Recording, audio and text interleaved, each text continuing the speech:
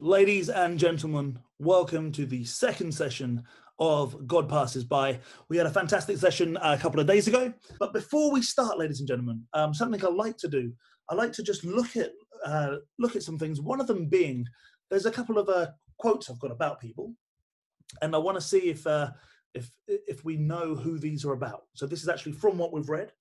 So the question is, who is preeminent in holiness, awesome in the majesty of his strength and power, unapproachable in the transcendent brightness of his glory?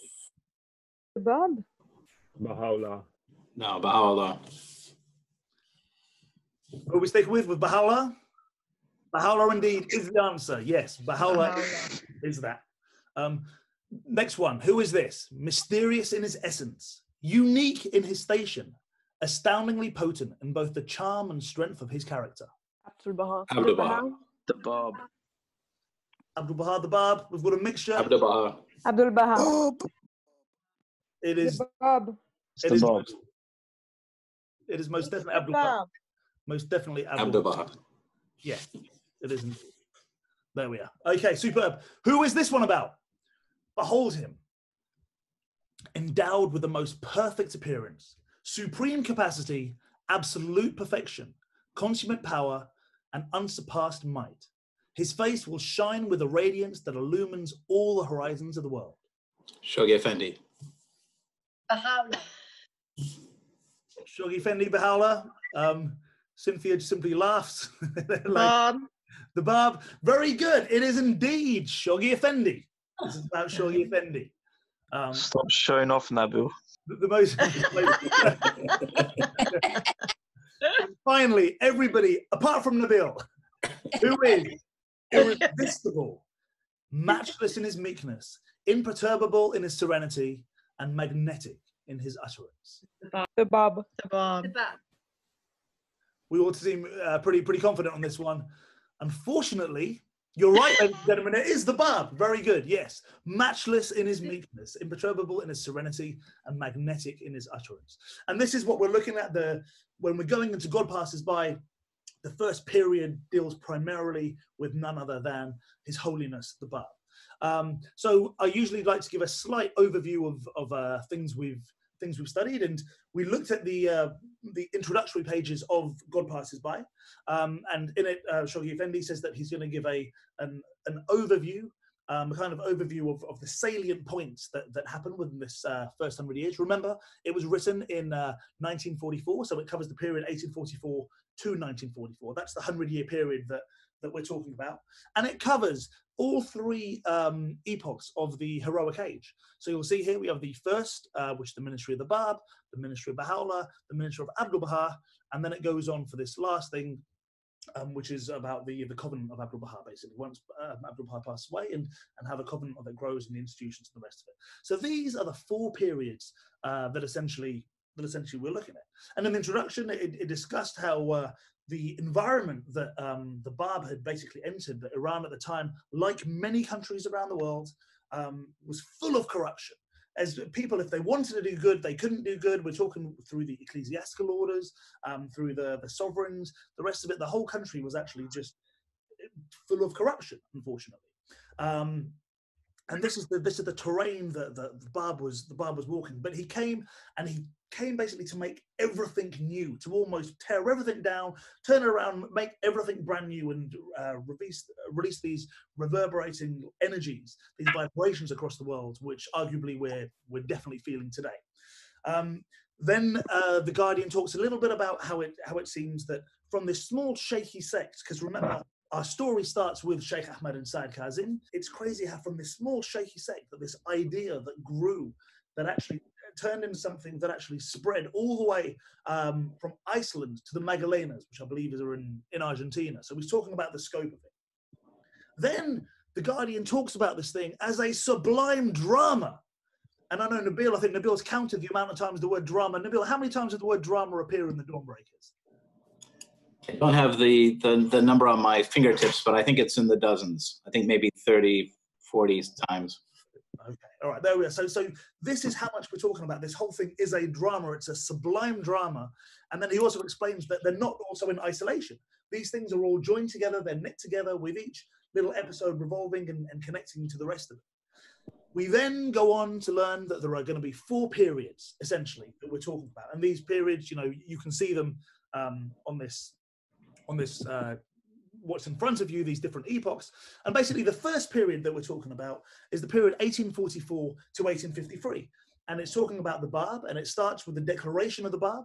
Um, it kicks us off with that. It then talks about this veritable orgy of religious massacre um, then we then we hear about you, know so lots of the Babis are killed once the Bab actually reveals who he is.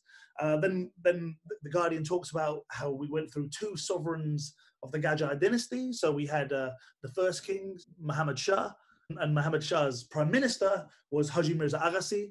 Then um, after him we went to Nasruddin Shah and Mirza Taqi Khan. And then we just learn about the hostility of the masses against the Babis, the tortures that took place, um, which I'm sure you're all familiar with, the horrible things that happened. Moving on from that, we went into the second period. The second period is dealing with uh, Baha'u'llah, um, 1853 to 1892. And it starts off with Baha'u'llah receiving his revelation in the Siyah and then talks about the proclamations to the kings and the ecclesiastical leaders that, that Baha'u'llah talks about. And then it ends with his death in Bahji near Akka. The third period was the uh, period of Abdul Baha, which was from 1892 uh, to 1921. As you can see down here, the dates are here. Um, and it starts with the announcement of this covenant of Baha'u'llah for the first time as to, in his handwriting, as to who Abdul Baha is and, and, and the covenant. And then as a result of this, absolutely transforming, we, we see that the light that spread through Europe, Australasia, the Far East, North America, and obviously Abdul Baha traveling to North America and to Europe, it culminates obviously in, in the passing of Abdul Baha. So we've got about 30 years, um, roughly, that, that that period lasts for. And then we have the final, uh, the final uh, period, which relates to the forces relating to the will and testament. There was a brief overview about the, the Bab being in, in the two prisons and the, the, the horrible uh, attacks against him. We then learned um, a little bit about Mullah Hussein and the declaration that took place. So we, we learned how uh, Mullah Hussein went to the Bab, that the Surah of Yusuf um, uh, part of that was was revealed to him. I, believe it was the Surah of Mulk, the first chapter of the. Uh, um, oh, sorry, the the, the Qayyum al Asma, which is the the Qayyum al Asma is the Surah of Joseph, um, which maybe later on I'll get Dr. Fanan Apazir to expand on a little bit. This this very weighty text, twice the size of the Quran, um, which which was one of the two things that a lot of the early Babis had actually. They had the Qayyum al and they had the prayers of the Bab. These were the first things that the Bab the Babis had. So we have so we have these two things. So we realize that Mullah Hussein he finds the Bab. He loses his mind eventually when he sees this, absolutely like he's crazy. The Bab says to him, "Don't go out." Um, then we then we had a little snippet from the uh, what the Bab said to the letters of the living, because we found out that the letters of living, the 18 came and the first to believe in him. We touched slightly upon Quddus. We mentioned Quddus being the moon of guidance, which is such a beautiful title, um, because when the Bab was in prison, Quddus was out and just like in at nighttime, where does the light come from? It comes from the moon, which is reflected from the sun. I guess the Bab being like the sun, and Quddus being that that luminary uh, light. Um, so we talked a bit about Quddus. Uh, we talked a little bit about um, Tahirih, um, the beautiful Tahirih and, and, and, the power that she brought. And finally, we ended up learning a little bit um, about how Mullah Hussein was told to go and spread the word. Um, and he was also told that he would meet this, this treasure this treasure of Mazandaran, which we then know to be Baha'u'llah. That pretty much gives us an overview of, of what we've covered.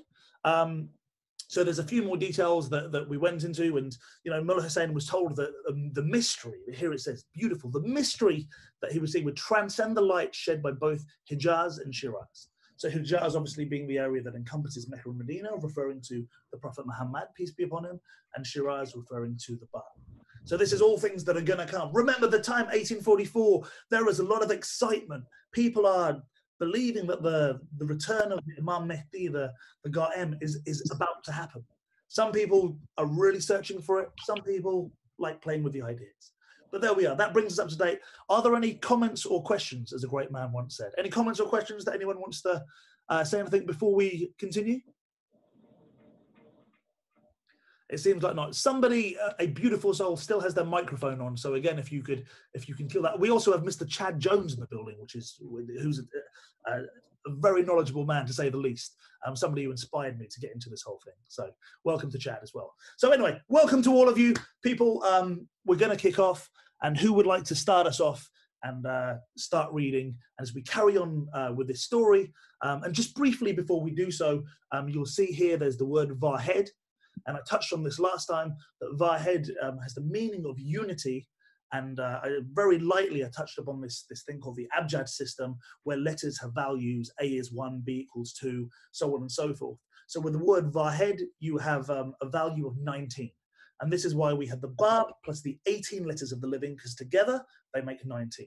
So this number 19 comes up a lot. We know it comes up in our um, months and the days in our months and, and all the rest of it. And the, the apostles of Baha'u'llah, it comes up again and again and again. So, so there we are. That's what we're going to be talking about. So uh, if I could ask our first, re- I'll ask Nadine actually if you'd be our first reader, please. If you'd kick us off with this uh, from galvanized into action. Thank you. Galvanized into action by the mandate conferred upon them, launched on their perilous and revolutionizing mission, these lesser luminaries, who together with the Bab constitute the first Vahed unity of the dispensation of the Bayan, scattered far and wide through the provinces of their native land, where with the matchless heroism they resisted the savage and concerted onslaught of the forces arrayed against them, and immortalized their faith by their own exploits and those of their co-religionists, raising thereby a tumult that convulsed their country and sent its echoes reverberating as far as the capitals of the Western Europe.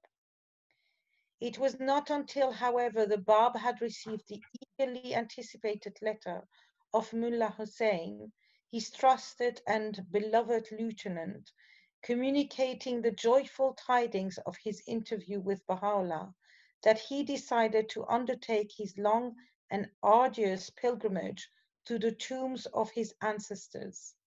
In the month of Shaban of the year 1260 AH, September 1844, he who, both on his father's and mother's side, was of the seed of the illustrious Fatimi, and he who was a descendant of the Imam Hussein, the most eminent among the lawful successor of the Prophet of Islam, proceeded in fulfillment of Islamic traditions to visit the Kaaba. He embarked from Bushir on the 19th of Ramadan, October 1844, on a sailing vessel, accompanied by Quddus, whom he was assiduously preparing for the assumption of his future office. Landing at Jeddah after a stormy voyage of over a month's duration, he donned on the pilgrim's garb, mounted a camel, and set out for Mecca, arriving on the 1st of Dhul Hajji, December 12. Quddus, holding the bridle in his hand, accompanied his master on foot to that holy shrine. On the day of Arafah, the prophet pilgrim of Shiraz, his chronicle relates, devoted his whole time to prayer. On the day of Nahr, he proceeded to Muna, where he sacrificed, according to custom, 19 lambs, nine in his own name, seven in the name of Quddus, and three in the name of the Ethiopian servant who attended him. He afterwards, in company with the other pilgrims, encompassed the Kaaba and performed the rites prescribed for the pilgrimage this is obviously dealing with the story that's that's within the Dawnbreakers. Um, that His Holiness the Bab, he turned around and he said he he sent the letters of the living out, and he he sent them all out to go across Iran to to spread the news and um, essentially uh, yeah to spread the message. Uh, that, that was that had just taken place that this declaration had happened now now what ends up happening is he says to them all i will not go on pilgrimage until 361 souls have declared and this number might seem a bit arbitrary, but then we we know we spoke about this number 19 earlier on, and if you have 19 times 19, that's 361. 361 also is the abjad value of this word kulashe. Kulashe means encompassing all things. Um, so again, th- this system that's been used, this abjad system, um, which is very heavily used in the Quran and, uh, and in the Torah as well, actually, um, this is something that, that the, the numerology sort of really made sense to a lot of people. And it said 361 people have to believe. Um, as they were going out, um, Mullah Hussein was uh, was one person who travelled up from Shiraz here. He went to Esfahan, Kashan, Qom, and to Tehran. While he was in Tehran, um, he then goes to, to one of these schools and he starts sharing the message of the coming of the Bab. The main person in charge wasn't interested. Mullah Hussein retreats. And then one of the students, a name, someone by the name of Mullah Mualem, comes and says to Mullah Hussein, What is this? You're telling me that the Mahdi's arrived, the promised one has arrived? And then Mullah Hussein shares with him. He then starts asking about somebody uh, who lives in this family, somebody from Noor, and starts asking questions. Does he have any children? And Mullah Ma'alam says, yes, I know his children. And there's and there's someone who uh, cheers the disconsolate and, and feeds the poor and, and all the rest of it. And Mullah Hussein says, I want you to go and give the scroll to him. Go and deliver this to him. So he gives the scroll, and no one knows to this day what was in that scroll. He goes and takes it to him, gives it to him, knocks at the door, and the uh, the brother of um, this this son opens the door. Um, uh, this is Baha'u'llah we're talking about. His brother, Aghay Kalim Mirza Musa, opens the door, uh, welcome, welcomes him in. The scroll is then given to Baha'u'llah, who takes one look at it, says to his brother, What do you think of this? Before his brother can respond, he says, This is assuredly the same truth as that of from the Quran, this text right here. So Baha'u'llah, we're talking about, um, is the one who's now accepted and says, Yes, this is true. Mullah, he then gives some a loaf of Russian sugar and some tea um, to Mullah Ma'alem to go and give to Mullah Hussein. He comes back, gives it to Mullah Hussein. Mullah Hussein is ecstatic. He's absolutely ecstatic. He then he, he uh, gets really excited, and then he goes back and he um, transfers this uh, this knowledge to the uh, maternal uncle of the Bab, who's in Shiraz, who's the one who's going to be taking all the all the details in. When the Bab finds out that Baha'u'llah is on board, and at this time he wasn't revealed as Baha'u'llah, but when he finds out, it's at this point the Bab says, Now I will go on pilgrimage. And even if I were to fail in everything I do, Baha'u'llah will take on. And, and he's just he's just totally, totally cool about that. He then goes on his pilgrimage um, from uh, Bandar Bushir, Bandar meaning port, uh, which is over here. He goes on his boat. They travel around. Um, and whilst on the boat, the conditions were horrendous. People were arguing with each other. The Bab even comments that their whole point of going on pilgrimage has just been done because they're arguing so much. For nine days, there was no water there to drink lemon juice. Um, in the footnotes, it talks about how how the any deed done on water is worth twice that done on land which might seem like a bizarre thing. So if you're going to do something good, if you're going to help someone in this coronavirus, just stand in a bucket of water, you'll get double the blessings for it. But of course, it's talking about because the conditions were so bad on the boat that I think I think when you have real toil and trouble, to do something nice is probably harder. Um, he then goes to Mecca and Medina. He he comes across all the way along here. He gets off at Jeddah, as we know, and then goes to Mecca and Medina and that's that's uh, predominantly what we're talking about there. And then certain lambs are sacrificed for this for this uh, ceremony, and the Bab is now going on pilgrimage. The sign of God, God, God essentially is going on pilgrimage. It's, it's, it's crazy, this drama that's, that's slowly unfolding uh, before us. So, when he's in Hijaz, when he's in the area of Mecca and Medina, what happens there? I've got a question before we start. Is that okay? Sure. Um, um, apparently, I don't know, like, I've heard that the scroll that was written by the Bab and to to be given to Baha'u'llah by Mullah Hussein. Um, I've heard that there is a that does exist and there's a translation of it. I, this is what I've been told. I don't know if, if anyone knowledgeable knows about this, but um, is that true or is that just rumors of some sort? I personally have, have never heard that. I don't know if anyone else has heard that. To, to, to my knowledge, um, we don't know what it was. We don't have it. Um, but if there's someone in the group that, that has any other information, but yeah, that's that's the first time I've I've heard that. To my to my knowledge, no, we don't. We don't have it. Okay. Marianne, please. His visit to Hijaz was marked by two episodes of particular importance. The first was the declaration of his mission and his open challenge to the haughty Mirza Muhit-i-Kirmani one of the most outstanding exponents of the Sheikhi school, who at times went so far as to assert his independence of the leadership of that school assumed after the death of Sayyid Kazim by Haji Muhammad Karim Khan, a redoubtable enemy of the Babi faith.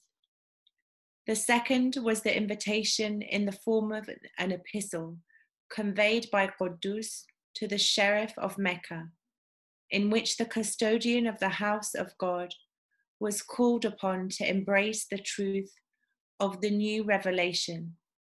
Absorbed in his own pursuits, the sheriff, however, failed to respond.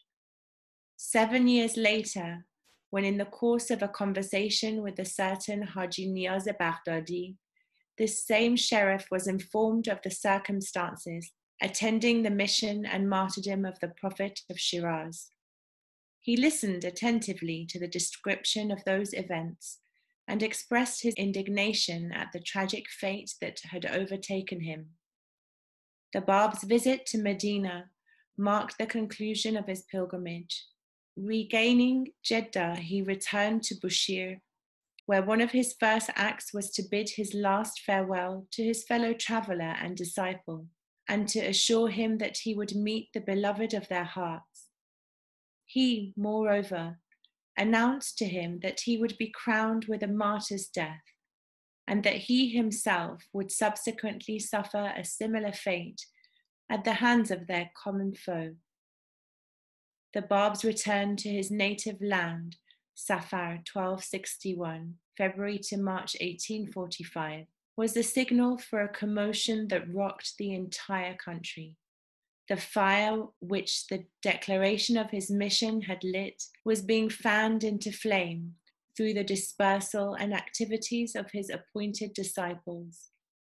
Already, within a space of less than two years, it had kindled the passions of friend and foe alike.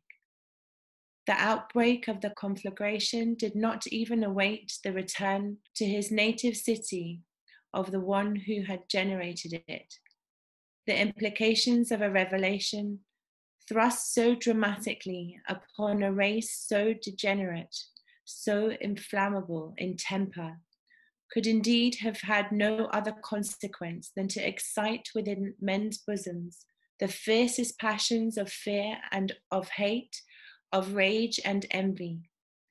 A faith whose founder did not content himself with the claim to be the gate of the hidden Imam, who assumed a rank that excelled even that of the Sahibul Zaman, who regarded himself as the precursor of one incomparably greater than himself, who peremptorily commanded not only the subjects of the Shah, but the monarch himself, and even the kings and princes of the earth, to forsake their all and follow him, who claimed to be the inheritor of the earth and all that is therein. A faith whose religious doctrines, whose ethical standards, social principles, and religious laws challenge the whole structure of the society in which it was born. Soon ranged, with startling unanimity, the mass of the people behind their priests and behind their chief magistrate, with his ministers and his government, and welded them into an opposition sworn to destroy, root and branch, the movement initiated by one whom they regarded as an impious and presumptuous pretender. Thank you, Mariam. Thank you very much there. So, uh, what are we dealing with? The Bab, um, he has gone on his pilgrimage. He's gone to Medina and Mecca. There's two events. There's two events that take place here that really stand out. One of them is his meeting with Mirza Mohita Kermani. Okay, not to be confused with Mirza Muppet. I don't want anyone to, to call him Mirza, Mirza Mohit. um, and uh, Mohit is, has a very beautiful meaning, in fact. Um, so anyway, so Mirza, Mirza Mohita Kermani um, is one of the disciples of Sayyid Kazim.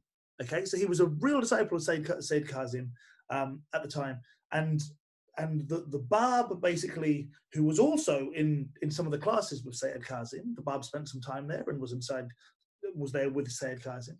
Um, they meet each other. And the Bab goes up to him and he challenges him. And the Bab, from what I understand, wasn't wasn't the tallest of of people. He, wasn't known for his for his height. Mirza Mohita Kermani, however, was um, extremely tall and lean, apparently. Uh, Mr. Sikh, my grandma would say, like a like a kebab skewer, just standing up tall and tall and thin. That's not a dawnbreaker thing, by the way. It's just my grandma. Um, so so basically, he's standing there, and the Bab goes up to him, and the Bab says to him very clearly, he says, "Right, do you believe in, in, in my mission?" And he holds him by the hand. So if you imagine this this meeting with a slightly shorter guy and this very tall guy, and he's holding his hand, and he says, "I want you to publicly accept or repudiate my truth."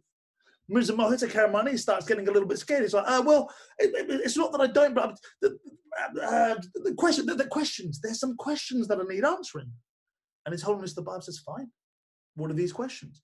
And he says, oh, well, well I'll tell you them and, and, and, and write them, write to me, and, and maybe I'll believe. I'll probably believe. I mean, you, you seem great. And he's got fear. And he's got, and he's being a bit of a coward. You know, does he accept the truth? Does he not? Bear in mind, accepting the truth of the revelation of the Bab pretty much means certain death. This is this is almost the way it's going to go down if you're going to accept to to, to follow the Bab. So what ends up happening is uh, he says, uh, "No, I'm gonna, I'm, I'm, gonna go. I'll stay around here. Write me a letter." The Bab knows full well that he's not to stay around, and the Bab says, "Okay, I'll write you a letter. And if perchance you happen to not be in Mecca and Medina anymore, and you happen to just, I don't know, for example, go back to Karbala, um, I'll send the letter there. Of course, Mirza Muppet, sorry, Mohita Keramani goes back to Karbala. Um, and and this guy comes up uh, again and again, and he's one of the three people that are that are talked about when the signs of the Bab are given. When people say, you know, he will be of medium height, he will uh, be free from bodily dysfunctions, all of these things, these weird sort of signs that that when we talk about the Bab, when Sayyid Kazim sorry talking about the Bab, you're like, why is he describing the Bab like that? But one of the reasons is because he knows that there are going to be people that are going to claim to be the position of the guy. And one of the things he's doing, he's ruling out Mirza Mohit because of his height. Anyway, that's one of the things that takes place. The second thing that takes place is this uh, epistle that's given to the Sharif of Mecca. Um, which for seven years he decided not to read. Um, seven years later, we know that in a conversation with uh, Niyaza Baghdadi, um, he's like, "Oh, I never really read this, and I, I should have read this. This was this was quite good." So we kind of missed out on that. So they're the two salient points. The Bab then returns back uh, from his pilgrimage. Um, he comes back to Bushir, and this is where he has, he has a conversation with Quddus. And he says to Quddus, The trip was awesome. Um, I promise that you are going to meet Baha'u'llah, essentially. Um, and he also says, We will never meet again. And you will suffer martyrdom. Um, the Bab's writings at this point have, have now started to, to spread, and a lot of people are falling in love and they're like wow what, what is this like how do we get to meet the bab who is the bab and then there's some people who are kind of yeah not very happy about it and it's raising the agitation the ecclesiastical order are very much against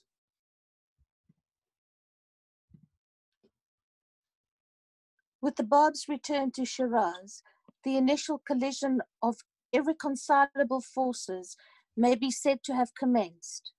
Already, the energetic and audacious Mullah Ali Bastami, one of the letters of the living, the first to leave the house of God, Shiraz, and the first to suffer for his sake, who, in the presence of one of the leading exponents of Shia Islam, the far famed Sheikh Muhammad Hassan, had audaciously asserted that from the pen of his newfound master, within the space of 48 hours, verses had streamed that equaled in number those of the Quran, which it took its author 23 years to reveal, had been excommunicated, chained, disgraced, imprisoned, and in all probability done to death. Mullah Siddiqui Khurasani, impelled by the injunction of the Bab in the Qasalis to alter the sacrosanct formula of the Adhan, sounded it in his, its amended form before a scandalized congregation in Shiraz and was instantly arrested, reviled, stripped of his garments, and scourged with a thousand lashes. The villainous Hussein Khan, the Nizamud Doli, the governor of Fars, who had read the challenge thrown out in the Qayyum ul Asma, having ordered that Mullah Siddiq, together with Quddus and another believer, be summarily and publicly punished, caused their beards to be burned, their noses pierced and threaded with halters, Then, having been led through the streets in this disgraceful condition, they were expelled from the city. The people of Shiraz were by that time wild with excitement. A violent controversy was raging in the masjids, madrasas, the bazaars, and sorry about my pronunciation, No, not at all. Masjid referring to mosque, madrasas referring to referring to religious schools. and other public places. Peace and security were gravely imperiled. Fearful, envious, thoroughly angered, the mullahs were beginning to perceive the seriousness of their position. The governor, greatly alarmed, ordered the Bab to be arrested. He was brought to Shiraz under escort and, in the presence of Hussein Khan, was severely rebuked and so violently struck in the face that his turban fell to the ground. Upon the intervention of the Imam, Juma, he was released on parole and entrusted to the custody of his maternal uncle, Haji Mirza Sayyid Ali. A brief lull ensued, enabling the captive youth to celebrate the Nowruz of that and the succeeding year in an atmosphere of relative tranquility in the company of his mother, his wife, and his uncle. Meanwhile, the fever that had seized his followers was communicating itself to the members of the clergy and to the merchant classes and was invading the higher circles of society. Indeed, a wave of passionate inquiry had swept the whole country, and unnumbered congregations were listening with wonder to the testimonies eloquently and fearlessly related by the Bab's itinerant messengers. The commotion had assumed such proportions that the Shah, unable any longer to ignore the situation, delegated the trusted Sayyid Ya- Yayi uh, Darabi, surnamed Vahid, one of the most erudite, eloquent, and influential of his subjects, a man who had committed to memory no less than 30,000 traditions, to investigate and report to him the true situation. Broad minded, highly imaginative, zealous by nature, intimately associated with the court, he, in the course of the three interviews, was completely won over by the arguments and personality of the Bab. Their first interview centered around the metaphysical teachings of Islam, the most obscure passages of the Quran, and the traditions and prophecies of the Imams. In the course of the second interview, Vahid was astounded to find that the questions which he had intended to submit for elucidation had been effaced from his retentive memory, and yet to his utter amazement, he discovered that the Bab was answering the very questions he had forgotten. During the third interview, the circumstances attending the revelation of the Bab's commentary on the Surah of Kawthar, comprising no less than 2,000 verses, so overpowered the delegate of the Shah that he, contenting himself with a mere written report to the court chamberlain, arose forthwith to dedicate his entire life and resources to the service of a faith that was to requite him with the crown of martyrdom during the Nayriz upheaval. Superb. Thank you so much. So we're going to go back a bit. When the Bab had, had come back from pilgrimage, he then sends Quddus and he sends him ahead and he says, I want you to go and teach Mullah Sadegh and, and my uncle the faith. Mullah Sadegh, who was he? He was a he was a he, he was a mullah, obviously, and he would talk in the masjids, in the mosques, and he would stand on the pulpit and he would share his message, and people used to love him. The only thing is, Mullah Sadegh was asked to add to the end of the azan, end of the, the, the call to prayer, um, this this verse, which is the Ali Gablo Muhammad, verily is the servant of the Baghiat Allah. Ali Gablo Muhammad um, means the Ali before Muhammad. Okay, the word Gabl means before. So Ali before Muhammad is the servant of the Baghiat the remnant of God. Now, the remnant of God refers to Baha'u'llah. The Ali before Muhammad, who's he talking about there? Well, when we look at the Bab's name, we know the acronym is SAM for the Bab. Sayyid Ali Muhammad, we see that Ali comes before Muhammad, which is the Ali Gabla Muhammad. So he says to Mullah Sadegh to say this. Now, Mullah Sadegh, he stands up in his mosque and he starts saying this. Now, he knows full well, by virtue of the fact that he's saying this, he's going to be met with nothing but a savage beating. It's almost blasphemous what he's doing, adding to this thing. You, you, you can't just add your own words to it. So he does this, and as a result, he's beaten and he's taken to the fort. And uh, the governor's someone by the name of Hussein Khan. And Hussein Khan, from what I understand and the research, he was a bit of a womanizer. He liked to drink. Um, there was a couple of uh, strange things about him, which I won't go into now, the, the habits he had. He basically decides to, to get Mullah Sadegh and to get Quddus as well and have them both beaten.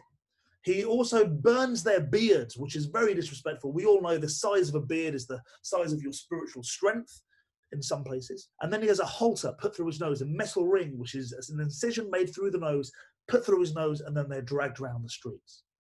Not content with this, he then decides to go after the Bab, because in this document, the Qayyum al the, the commentary on the Surah of Joseph, in there, the Bab writes how the authorities should divest their power, the sovereigns, the kings, and the ruler, and, and that this is God's time to reign, essentially. So what they do is they, they call for the Bab. They're like, let's go and get the Bab. Let's send out for the Bab. So Hussein Khan from Shiraz sends out his, uh, his, his troops to basically go and get the Bab. And they start going along this route here, trying to go to the Bab, who's in Bandar Bushir. The Bab is walking towards them. As the Bab meets them halfway, the Bab says to them, Huh, where are you guys going? And they say, Oh, we're, we're going on some important business. We can't share with you. The Bab says, Where are you going? And they say, Well, we can't share with you. We're just going somewhere. And the Bab says, Are you looking for uh, for the Bab? And they're like, Yeah, how did you know? And he says, I am the Bab. I am the Bab. You want me? I've come out to meet you to make it easier for you. Take me. And they're a bit confused. They're like, no, no, no, no. We're, going to take you to Shiraz to see Hussein Khan, who we know he likes a bit of a drink. Go, go. And the Bab says, no, absolutely not. If he wants to see me, I'll see him. And they're really confused. They said, just go, go. And he's like, no. They fall in love with him so much that they actually march back with the Bab at the front not like in chains and bound up. And then they get to Shiraz. They go to the fort and then they see Hussein Khan. Hussein Khan then asks a question. The Bab returns with a quote from the Quran. Hussein Khan, not realizing it's a quote from the Quran, orders that the Bab be struck across the face. He's hit so hard that his turban comes off. While his turban falls to the ground, somebody by the name of Sheikh Abu Tarab, who's a religious right hand man, is just says to him, no, no, no, no, he wasn't being disrespectful. That's a quote from the Quran. Let's see what happens. Sheikh Abu Tarab, very randomly, by the way, for, for anyone who knows the, the group, The Prodigy, who are very big in the UK, a big rave group, The Prodigy, Keith Flint, um, his cousins are Baha'i. Anyway, the Bab's turban is, is then put back on. But they are very much worried and very much against the Bab. Some people are falling in love with the message of the Bab, Some people are getting very panicked. We then started talking about none other than Vahid, Vahid, whose name is Sayyid Yahya Darabi. This was the final thing we were talking about, who was none other than the, uh, the, wisest man in the country. I've been compared to Vahid. Um, compared to him, I'm not very wise, people have said. But, so, he, so he was in Tehran and uh, he was sent down by the king. The king said to Vahid, I want you, Vahid, because you're the smartest, you're the diamond, diamond guy. Go down and investigate. So, so Vahid goes down to Shiraz and he goes to meet the Bab. They have three interviews slowly but surely, that he realizes the greatness of the Bab. So much so that he gives, and he just says, at this point, I am not even going back to the king. Imagine working for the king, being the highest guy. And he's just like, no, I found my new master. Um, we were talking about this third interview where there's this commentary on the Surah Kawsar, the Surah of Divine Plenitude, which is a fascinating surah, which maybe we can go into later. That the Bab basically in this third interview, he reveals this commentary um, that is no less than 2,000 verses. 2,000 verses, can you imagine? That's more than one and a half thousand verses. That's a lot of verses. So we basically push this out, and Vahid is just blown away. Absolutely blown away. He who had firmly resolved to confute the arguments of an obscure Sayyid of Shiraz, to induce him to abandon his ideas and to conduct him to Tehran, as an evidence of the ascendancy he had achieved over him, was made to feel, as he himself later acknowledged, as lowly as the dust beneath his feet. Even Hussein Khan, who had been Vahid's host during his stay in Shiraz, was compelled to write to the Shah and express the conviction that His Majesty's illustrious delegate had become a Babi. Another famous advocate of the cause of the Bab, even fiercer in zeal than Vahid, and almost as eminent in the rank, was Mullah Muhammad Ali ibn Zanjani, surnamed Hujat, an Akbari, a vehement controversialist of a bold and independent temper of mind, impatient of restraint, a man who had dared to condemn the whole ecclesial hierarchy from the Abvab-i-Arba'ih down to the humblest mullah. He had more than once, through his superior talents and fervid eloquence, publicly confounded his orthodox Shia adversaries. Such a person could not remain indifferent to a cause that was producing so grave a cleavage among his countrymen. The disciple he sent to Shiraz to investigate the matter fell immediately under the spell of the Bab. The perusal of but a page of the Qayyum al Asma brought by that messenger to Hujat sufficed to effect such a transformation within him that he declared before the assembled ulamas of his native city that should the author of that work pronounce day to be night and the sun to be a shadow, he would unhesitatingly uphold his verdict. Yet another recruit to the ever swelling army of the new faith was the eminent scholar Mirza Ahmadi Azghandi, the most learned, the wisest, and the most outstanding among the ulamas of Khurasan, who, in anticipation of the advent of the promised Qaim, had compiled above 12,000 traditions and prophecies concerning the time and character of the expected revelation, had circulated them among his fellow disciples, and had encouraged them to quote them extensively to all congregations and in all meetings. While the situation was steadily deteriorating in the provinces, the bitter hostility of the people of Shiraz was rapidly moving towards a climax. Hussein Khan, vindictive, relentless, and exacerbated by the reports of his sleepless agents that his captive's power and fame were hourly growing, decided to take immediate action. It is even reported that his accomplice, Haji Mirza Aghasi, had ordered him to kill secretly the would be disruptor of the state and the wrecker of its established religion. By order of the governor, the chief constable, Abdul Hamid Khan, scaled in the dead of night the wall and entered the house of Haji Mirza Sayyid Ali, where the Bab was confined, arrested him, and confiscated all his books and documents. That very night, however, took place an event which, in its dramatic suddenness, was no doubt providentially designed to confound the schemes of the plotters and enable the objects of their hatred to prolong his ministry and consummate his revelation. An outbreak of cholera devastating in its virulence had since midnight already smitten above a hundred people. The dread of the plague had entered every heart, and the inhabitants of the stricken city were, amid shrieks of pain and grief, fleeing in confusion. Three of the governor's domestics had already died. Members of his family were lying dangerously ill. In his despair, he, leaving the dead unburied, fled to a garden in the outskirts of the city. Abdul Hamid Khan, confronted by this unexpected development, decided to conduct the Bab to his own home. He was appalled upon his arrival to learn that his son lay in the death throes of the plague. In his despair, he threw himself at the feet of the Bab, begged to be forgiven, adjured him not to visit upon the son the sins of the father, and pledged his word to resign his post and never again to accept such a position. Finding that his prayer had been answered, he addressed a plea to the governor, begging him to release his captive and thereby deflect the fatal course of this dire visitation. Hussein Khan assented his request and released his prisoner on condition of his quitting the city.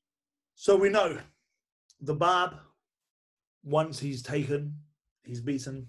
Uh, what ends up happening, and again, and this is all taking place in none other than Shiraz. Um, he's then he's then basically imprisoned. He's under house arrest. He then has to go to this mosque, um, and, and these are these are details that the Guardians left out in in the dawn breaks. But he has to go to this mosque and basically say that he's not um, he's not the gate to the hidden imam. So uh, it was very. If you remember, I told you we have the, the twelve imams of Shia Islam. The the twelfth one is the one who went into hiding. Um, who then, when he was in hiding, there were four gates who were talking to the twelfth imam. Once the fourth one passed away, um, or just beforehand, he said in the year 260, in the Islamic calendar, in a thousand years, this Qa'im will reappear.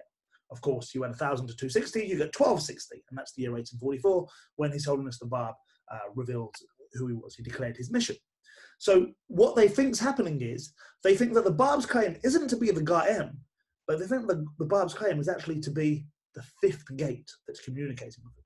So they say to the Bab, you must go to the mosque and you must stand up and say, I am not the fifth gate. Go on, we dare you to do that. We dare you.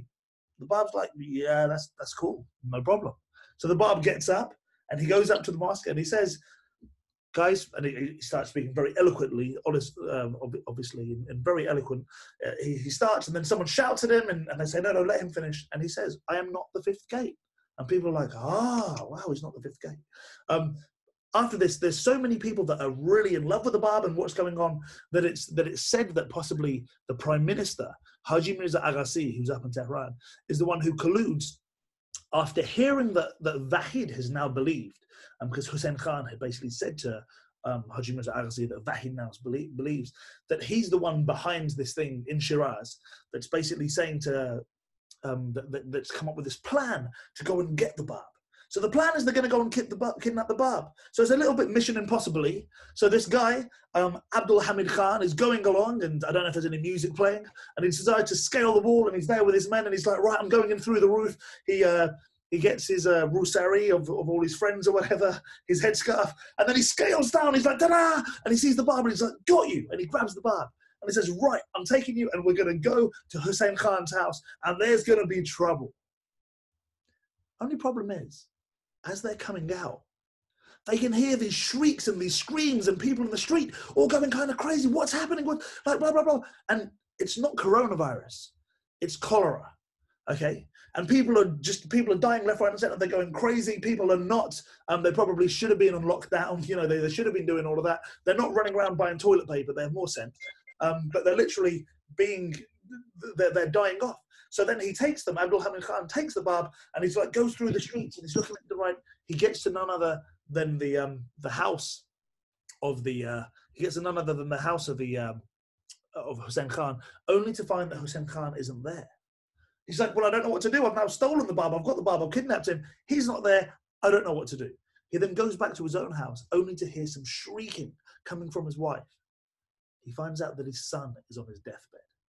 At this point, he turns to the Bab and he begs him and he says, If you're a holy man of any type, please do something. Help my son. He's dying. He's dying. The Bab does his ablutions. Once he does this, he gives the water from his ablutions and says, Give this to your son. The son drinks it, miraculously becomes fine. This is then this information is then uh, shared with Hussein Khan, and he, Abdul Hamid Khan says, "Please look, I don't know who this guy is. Let's not do anything." And Hussein Khan says, "Fine, okay, whatever. Pass me another wine. I'm from Shiraz. I want to do this whole thing, but just get the Bab out of it." It's at this point now the Bab is sent from Shiraz. He's sent north up to Esfahan. Miraculously preserved by an almighty and watchful providence, the Bab proceeded to Esfahan in September 1846. Accompanied by Sayyid Kazim of Zanjani, another lull ensued, a brief period of comparative tranquility, during which the divine processes which had been set in motion gathered further momentum, precipitating a series of events leading to the imprisonment of the Bab in the fortress of Maku and Chihriq, and culminating in his martyrdom in the barrack square of Tabriz. Well aware of the impending trials that were to afflict him, the Bab had, ere his final separation from his family, bequeathed to his mother and his wife all his possessions, had confided to the latter the secret of what was to befall him, and revealed for her a special prayer, the reading of which he assured her would resolve her perplexities and allay her sorrows. The first 40 days of his sojourn in Isfahan were spent as a guest of Mirza Sayyid Muhammad, the Sultan Ulama, the Imam Jomeh, one of the principal ecclesiastical dignitaries of the realm. In accordance with instructions of the governor of the city, Manouchehr Khan, then Muhammad Doli, who had received from the Bab a letter requesting him to appoint the place where he should dwell. He was ceremoniously received, and such was the spell he cast over the people of that city, that on one occasion, after his return from the public bath, an eager multitude clamored for the water that had been used for his ablutions. So magic was his charm that his host, forgetful of the dignity of his high rank, was wont to wait personally upon him. It was at the request of the same prelate that the Bab one night, after supper, revealed his well known commentary on the Surah of Al Asr. Writing with astonishing rapidity, he in a few hours had devoted to the exposition of the significance of only the first letter of that surah, and the letter which Sheikh Ahmad Ahsai had stressed, and which Baha'u'llah refers in the Kitab Aqdas, verses that equaled in number a third of the Quran, a feat that called forth such an outburst of reverent astonishment from those who witnessed it that they arose and kissed the hem of his robe. The tumultuous enthusiasm of the people of Esfahan was meanwhile visibly increasing. Crowds of people, some impelled by curiosity, others eager to discover the truth, still others anxious to be healed of their infirmities, flocked from every quarter of the city to the house of the Imam Jumeir. The wise and judicious Manouchehr Khan could not resist the temptation of visiting so strange, so intriguing a personage. Before a brilliant assemblage of the most accomplished divines, he, a Georgian by origin and a Christian by birth, requested the Bab to expound and demonstrate the truth of Muhammad's specific mission. To this request, which those present have felt compelled to decline, the Bab readily responded. In less than two hours, and in the space of 50 pages, had not only revealed a minute, a vigorous and original dissertation on a noble theme, but also linked it with both the coming of the Qaim and return of Imam Hussein, an exposition that prompted Manouchehr Khan to declare before the gathering his faith in the Prophet of Islam as well as a recognition of the supernatural gifts with which the author of so convincing a treaty was endowed. These evidences of the growing ascendancy exercised by an unlearned youth on the governor and the people of the city rightly regarded as one of the strongholds of the Shia Islam, alarmed the elasticity of authorities, refraining from any act of open hostility which they knew full well would defeat their purpose, they sought by encouraging the circulation of the wildest rumors to induce the Grand Vizier of the Shah to save a situation that was growing hourly more acute and menacing. The popularity enjoyed by the Bab, his personal prestige, and the honors accorded him by his countrymen mm. had now reached a high water mark. The shadows of an impending doom began to fast gather about him. A series of tragedies from then on followed in rapid sequence, destined to culminate in his own death, the apparent extinction of the influence of his faith. Thank you, Pam. Thank you very much. So we have the Bab. He's up in Shiraz. He's, he then moves to Esfahan. When he goes to Esfahan, he stays in the um, firstly in the house of Mirza Sayyid uh, Muhammad, who's the uh, Imam Jumeir, one of the, the, biggest Imam of the of the town. He then moves to the house of Manouchehr Khan, who's the governor. And while he's there, Manouchehr Khan starts falling in love with them. This is a constant theme you'll find where the Bab moves and he's put in positions and people are meant to hate him and the rest of it. They start falling in love with his charm. There's also now growing talk about the miracles of the Bab that, that he could do. Right? We know he gave his ablution water to the son of Abdul Hamid Khan, um, the, the person who'd kidnapped him. Well, now people are thronging after the Bab, trying to drink his ablution water and the rest of it. Now, of course, the Bab, this isn't the reason the Bab came to heal the sick through his waters through the miracles. In fact, we know that the Bab bans the Babis talking about his miracles. He's like outright bans it and says, You are not allowed to talk about the miracles because that's completely missing the point. The, the miracles are essentially the word, the transforming power that it has. So while he's there, he's asked to uh, do a commentary on this Surah of Balash. Um, and so, so to, to, to do this commentary, and it's actually, he writes about the, the first letter of this. And this first letter the Bab ends up writing ends up being a third of the Quran. Now, the Quran has give or take six and a half thousand verses. So there's approximately 2,000 verses that are revealed purely on this. Um, and Manouchehr Khan is, is asking the Bab other questions, and the way the Bab writes, the rapidity. Remember, I mentioned before, six years of prophetic consciousness the Bab had. He reveals five million words. This is what we have digitized in Haifa. Okay, Baha'u'llah in a period of 40 years, six million. Now, not that Baha'u'llah couldn't reveal more, but it was so intense the way in which the Bab revealed it was just absolutely intense. So Manouchehr Khan starts absolutely falling for the Bab and, and wants to do anything he can. Of course, as we know, in the story keeps it keeps coming back and forth. Some people are very happy. Some people are falling in love because they're seeing the truth. Others, they see this as a threat. They see this as a divide that, that their power might be divested. And, and God, what would happen if, they, if their power was taken away?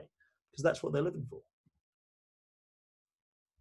the overbearing and crafty Haji Mirza Aghasi, fearful lest the sway of the Bab encompass his sovereign and thus seal his own doom, was aroused as never before. Prompted by a suspicion that the Bab possessed the secret sympathies of the Muhtamid, and well aware of the confidence reposed in him by the Shah, he severely upbraided the Imam Jumeh for his neglect of his sacred duty. He at the same time lavished in several letters his favors upon the ulamas of Isfahan, whom he had hitherto ignored. From the pulpits of that city, an incited clergy began to hurl vituperation and calumny upon the author of what was to them a hateful and much to be feared heresy. The Shah himself was induced to summon the Bab to his capital. Manouchehr Khan, bidden to arrange for his departure, decided to transfer his residence temporarily to his own home. Meanwhile, the mujtahids and ulamas, dismayed at the signs of so pervasive an influence, summoned a gathering which issued an abusive document signed and sealed by the ecclesiastical leaders of the city, denouncing the Bab as a heretic and condemning him to death. Even the Imam Jumeh was constrained to add his written testimony that the accused was devoid of reason and judgment. The Muhtamid, in his great embarrassment and in order to appease the rising tumult, conceived a plan whereby an increasingly restive populace were made to believe that the Bab had left for Tehran, while he succeeded in ensuring for him a brief respite of four months in the privacy of the Imarat-e Khurshid, the governor's private residence in Isfahan. It was in those days that the host expressed the desire to consecrate all his possessions, evaluated by his contemporaries at no less than 40 million francs, to the furtherance of the interests of the new faith, declaring his intention of converting Muhammad Shah of inducing him to rid himself of a shameful and profligate minister, and of obtaining his royal assent to the marriage of one of his sisters with the Bab. The sudden death of the Muhtamid, however, foretold by the Bab himself, accelerated the course of the approaching crisis. The ruthless and rapacious Gurgin Khan, the deputy governor, induced the Shah to issue a second summons ordering that the captive youth be sent in disguise to Tehran, accompanied by a mounted escort. To this written mandate of the sovereign, the vile Gurgin Khan, who had previously discovered and destroyed the will of his uncle, the Muhtamid, and seized his property, unhesitatingly responded. At the distance of less than 30 miles from the capital, however, in the fortress of Kinar Gird, a messenger delivered to Muhammad Beg, who headed the escort, a written order from Haji Mirza Aghasi instructing him to proceed to Kulain and there await further instructions. This was shortly after followed by a letter which the Shah had himself addressed to the Bab, dated Rabi'ul Thani 1263, March 19th to April 17th, 1847, and which, though couched in courteous terms, clearly indicated the extent of the baneful influence exercised by the Grand Vizier on his sovereign. The plans so fondly cherished by Manouchehr Khan were now utterly undone.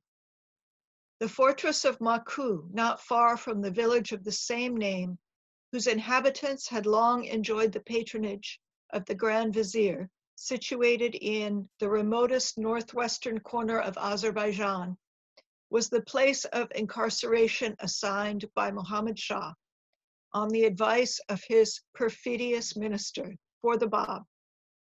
No more than one companion and one attendant from among his followers were allowed to keep him company in those bleak and inhospitable surroundings.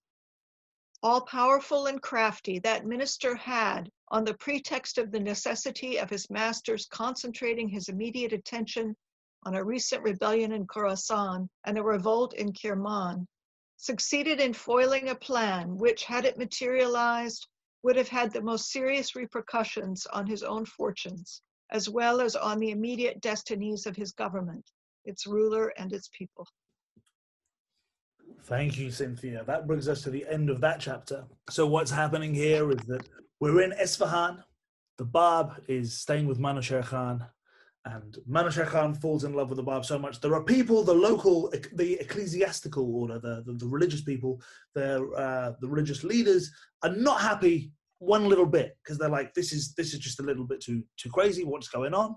And Manouchehr Khan turns around and says to the Bab, I I'm in. like, I absolutely feel what you're saying. Your writings, they're so powerful and everything.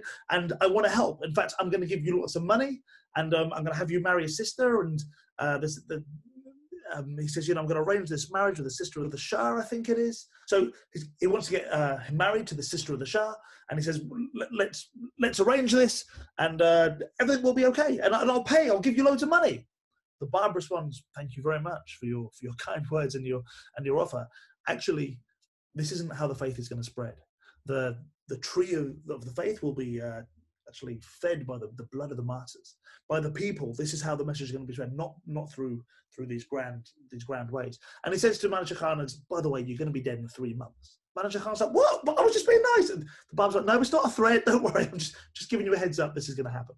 Um, but, then we have uh, Gurgin Khan, who I believe is the, the, the nephew of Manouchehr Khan, who later on basically tries to cause loads of problems and, and, tries to get the Bab out and outs the Bab. And they're trying to sign this death warrant for the Bab. Um, Manouchehr Khan comes up with this great plan to have the Bab escape at Isfahan, um, but then actually come back to his house. But that's in the Dawnbreakers, the details of that. We won't go into that. We know from here the Bab is going to leave. The idea is he's going to Tehran and he's going to go and meet the king. The Prime Minister, Haji Mirza Aghasi, who we've previously said may be related to Andre Agassi, we don't know. But he's going and then they come to Kashan. As they get to Kashan, there's a man by the name of Haji Mirza Jani Kashani. And he has this dream. He's sitting there, he, he has this dream and he wakes up and he says to his wife, he says, Shohreh, Shohreh, wake up, wake up. And she says, my name isn't Shohreh, Zarin. He's like, sorry, sorry, okay, fine. Zarin, that didn't happen. That's just my, my input. He basically says, like, wake up. He's like, look, you have to make loads of food. You have to make loads of food. I had a dream, the Bab's coming. She's like, not again. Look, if you want more food, I've told you, you need to watch your, like, don't make things up. It's like, no, I promise you. I promise you, the, the Bab is coming. And, and he says, I have this dream, and, and I can see outside the city of Kashan, the Bab is coming, and there's all these horses, and, and he's there with his black turban, and, and he's coming towards, and, and then all of a sudden she says, He's there with his what? And she says, There with his black turban. She says, the Bab is a Sayyid. We all know that Sayyids, descendants of Prophet Muhammad, peace be upon him, wear green. It must be a green turban. It can't be black. Haji Mirza Jani Kashani says, I, I, I can't tell you why, but it's black. He says, please just make the food and I'm going out to the city. He then goes to the gates of the city, outside the gate, while he's standing there in the distance, he suddenly sees the dust rising. Through the dust, the horses are coming through, and he runs out and there he meets none other than His Holiness the Bab. He falls to his feet, kisses his stirrups, the Bab pulls him back up, and they hug and embrace each other like they're intimate friends. The Bab had said in his dream that he was coming to stay for three days. This is why he told his wife to make the food, because he's going to have a guest. Lo and behold, he stays with them for three days. He then goes up and he goes via Qom, and then as he's getting towards Tehran, this is when there's interaction with the Shah. And this idea is born by Haji Mirza Aghasi, who's terrified if the Bab meets the king, what might happen? So he then comes up with this plan, Haji Mirza Aghasi. His cousin lives in a place up in the northwestern most part, in a place called Maku. So his cousin is actually the uh, the governor of the prison of Maku, and he basically says to the king, "Look, we've got some business to attend to. Why don't we send the Bab like a holiday to Maku. He can go and stay in this prison. Um, lo and behold, that's what's happened. The Bab is then taken to the first prison, to Maku, which is all the way up here. And that's where this chapter ends. And then we go on to, to this next chapter. David, uh, can you hear me, boss? Can you hear me? Very well. Now, one small thing I wanted to contribute about this study. As we were doing the God Passes By, and indeed the Dawnbreakers with your kind self, the word that keeps occurring about these wonderful, you call them awesome, absolutely awesome events, the word the beloved guardian uses, Dave, is providence. Providence. Providentially, that cholera came. Providentially, uh, this event occurred. Providentially, the son was healed. It seems that in those six years, what you saw in this incredible ministry of His Holiness the Bab, the primal point, providence, operating at every level. Of course, the whole history of the Baha'i Baha'i faith is the story of providence. But it's very noteworthy, as you read, and these wonderful, wonderful uh, people, most of them the ladies who read, I, I kept looking at the word providence. Now, talking about providence, you've gone already to Kashan, but in this beloved city of Esfahan, um, which of course I love very much because it's the birthplace of the king of martyrs and the beloved of martyrs, and the birthplace of so many luminous figures. In, it's in this same city of Esfahan during his stay that a particular host mentions that his brother doesn't have a child. And they beg again the providence of His Holiness the Bab with his miraculous divine divine power that he had. And of course, he showed his divinity right up to his martyrdom on the 9th of July. Could you do anything for my brother who is childless? And of course, His Holiness the Bab leaves a portion of his food to that gentleman. And he, he says, Let your wife and your, yourself eat of it. And of course, this eventuates in the in the in the in the realization and the birth of a lady who will subsequently be the wife of Abdul Baha and who's who's in the monument gardens. The other thing that is remarkable in that period is, as you said, this incredible rapidity of his writings. Everywhere he wrote rapidly, but there in Esfahan, people saw it. It was absolutely, as Dave, you said it. And then, of course, Surah Wal Asr. I have a copy of these surahs. I don't know, I'll pass away to the next world, I'll leave them here. But anyway, they're all in the Holy Land, part of the five million words that are digitized. In the Surah Wal Asr, it's very interesting. That first letter, Dave, what is it? Vav. The letter. Excellent. You are so with it. You know, you just you're so aware. I mean, I have never, of course, in the period that I've been in Britain, seen as someone so enthused as your good self. The the word va, when you write it longish hand in Arabic and Persian, it's called vav. So there is a W, and then there is an aleph, and then there is another W. So the first vav refers to the 6,000 years of prophetic revelation the cycle of prophecy. So the Bab reveals this, and later on, His Holiness Baha'u'llah expands on it in the Aqdas about the mystery of reversal. So the first Vav is the 6,000 or so, roughly, of prophetic revelation leading to Aleph. Now, the Aleph, as you know, Aleph stands erect on its own, dearest Dave. And so, of course, Aleph is the Qa'im, because the word qa'im means he who arises. In other words, he sort of, so that's the aleph. But of course, the aleph is followed immediately by another six years by another wav. And then Baha'u'llah and subsequently Abdul Baha and the Guardians say that, of course, that other vav is 5,000 centuries of the cycle of fulfillment.